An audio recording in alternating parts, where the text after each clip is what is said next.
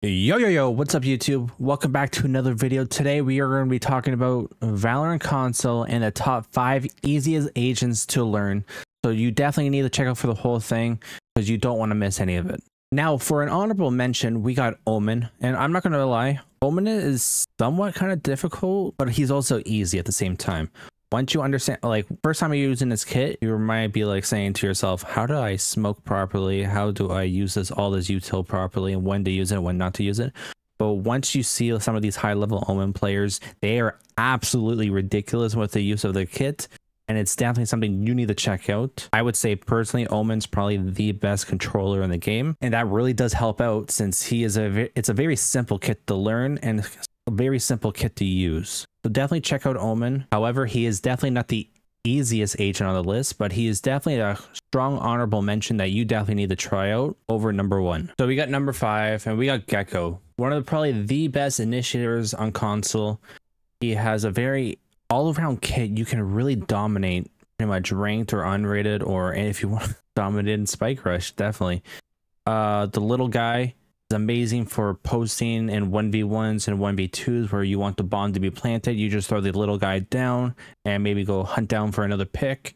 The flash is not the best flash in the game, but it gets the job done. Okay. And the molly, molly is very good, especially for closing off like areas to prevent enemies from actually pushing you onto a site when you're trying to plant the bomb, or it's even good for lineups. Now, again, lineups are not the probably best thing. Not a lot of people do them, but it's definitely something you should uh, watch out for in the future. And we got the alt. The alt is extremely easy to use. It's one of the best alts in the game, and it's a very high skilled ceiling alt once you start to master it and when to use it and when not to use it. I know that this might be a little controversial, but this is why Gekko's at my number five. He is very easy to play and especially for new friendly players, I would say he's one of the very first initiators you should be unlocking first. Now we got number four, Reyna, one of the goats when it comes to dominating ranked and unrated matches. She is absolutely ridiculous. If there's a good, strong Reyna on the other team, she's probably a smurf. There's a reason why this agent is such a good smurfing such a good smurfing agent, especially at low level ranks. When those top end players are tired of playing top end talent and they just want to fry for a bit, they pick this agent for a reason. Reyna is just hits so easy. You basically got a flash, and anytime you got to kill, you either dismiss away or you heal yourself. And the alt, ever since the buff, is absolutely nice where you can just pop it at the beginning of a round and bam, I'm ready to go. Definitely someone you got to check out. For number three, we got Phoenix. I what is there to say about Phoenix? Phoenix hit is super easy to understand.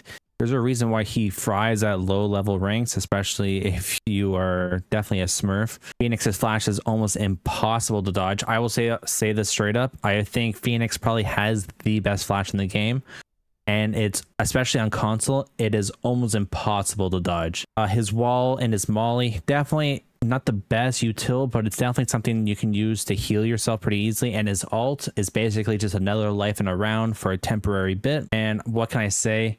Definitely try out Phoenix. Like he's given to you for free. So like if you want to learn the duelist role, Phoenix is definitely the agent that you need to learn right off the bat. For number two, we got Sage. And truth be told, Sage, Sage is the definition of being outdated. Her kit, it was definitely something very menacing at first for Valorant, especially in the first week or so when it came to the PC beta and stuff. But it got to the point where nowadays Sage is completely useless. Like she, it is definitely a safe pick for a reason. Like if you don't know what to play and you're looking for maybe just a simple agent to learn, Sage is fine. She provides basically bare minimum information as the Sentinel role. Like she can block off one entrance way. She can slow down down rushes, and then she can heal yourself or heal your other teammates. But even then, that's basically it. Even the self revive is nice, but like most people don't even know how to use the self revive properly and when to use it and when not to use it.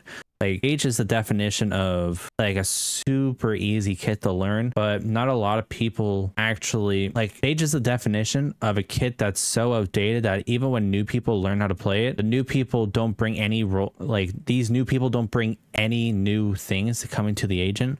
While you have a character like Gekko or something like that, who is a very fresh agent, a very easy agent to learn. However, even if you're really bad at Gekko, if you just use your util, you bring so much information. Like I was tempted just to keep Sage off this list because how horrible of an agent she is. But at the same point, she is very she is a very easy agent to learn. But at the same time, it's not I not uh, not an agent I would pick personally but she is definitely very suitable for number two. Before we get into the number one pick, don't be afraid to hit that like and subscribe. All support truly is appreciated. And if you disagree with this list, comment down below. So here is my number one pick. Okay, everybody, there's only one answer for number one.